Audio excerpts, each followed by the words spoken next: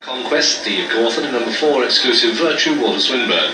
Number five is Himiko, Michael Hills, number six, Je le Soir, John Reid. Number seven, Love of the Arts, is the man of Ray Cochrane. And uh, number eight, Marathi, Richard Hills. Nine, Positive Acclaim and Lester Piggott. Number ten, Simondo and Gary Carter. Number eleven, Venus Observed, Chris Rutter. And number twelve, Idle Mio, that one written by Michael Roberts. Monda is the 3 to 1 favourite, Open up at 5 to 2. Orchera 9 to 2 from 4 to 1. And Crimson Conquest is 30 to 2 from 6s. Exclusive Virtue steady on the 6 to 1 mark. Joli's Princess at 8, together with Joie de Soir. Positive Acclaim at 10 to 1. Himeko on 12s, together with Malateeb. And Idle Mio is 14 to 1 from 12 to 1, 16 to 1 bar.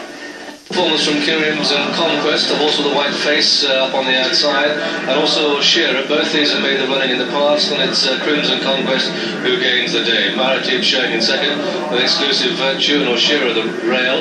Tucked in behind them, Himoko the rail.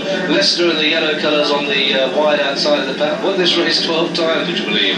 Tucked in behind them, Simonda and Je and also tucked away is Love of the Arts, and uh, also near last and first, Joli's Princess. But they come through the first uh, two and a half furlongs, it's Steve Cauthen leading the on Crimson Conquest. Just leading from Je le Soir on the outside, exclusive Virtue in the red jacket. Running the rail is Oshira in dark green. Uh, Richard Quinn's just punching her along as they come down past the four and halfway in this listed race. Uh, in behind them and going well, Venus Observed. On the outside is Positive Acclaim. Sumonda in the very wide outside, that's the right of the pack as they start this serious turn into the stretch now, and it's Crimson Conquest the rail. Uh, going on, exclusive Virtue in the red jacket, red cap.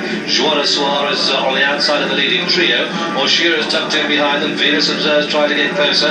Himiko tries to come with a run on the rail. Positive acclaim on the wide outside. Sumonda's uh, unleashing a run as they come down past the two. And it's Venus Observe and Sumonda on the wide outside with positive acclaim. Himoko the rail. And they've got a furlong and a half to go. And anyone of six could win on the extreme right. Sumonda, a positive acclaim. Uh, Himoko. And here comes Joli's Princess with the orange cap next to the rails inside the final furlong.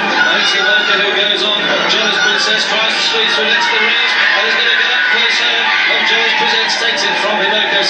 A photo third between Oshira and Simonda. And that is very close. Love of the Arts finished five ahead of Observed.